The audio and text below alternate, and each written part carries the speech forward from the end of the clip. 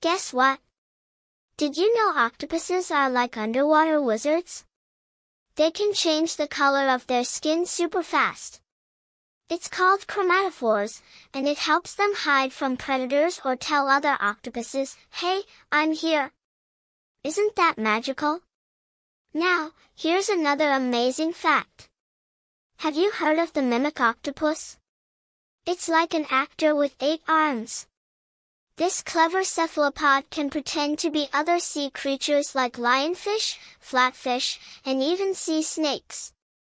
That's like playing the ultimate dress-up game in the ocean. Did you know octopuses have three hearts? Two pump blood to the gills, while the third one keeps the rest of its body swimming smoothly.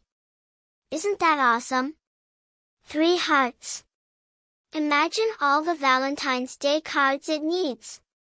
And wait for this, octopus ink isn't just for cooling fancy pasta. It's actually their secret super shield.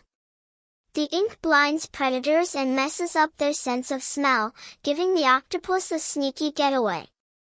Well, that's all for now. If you love learning cool stuff as much as I do, smash that like button and don't forget to subscribe to see more cool stuff. Bye bye.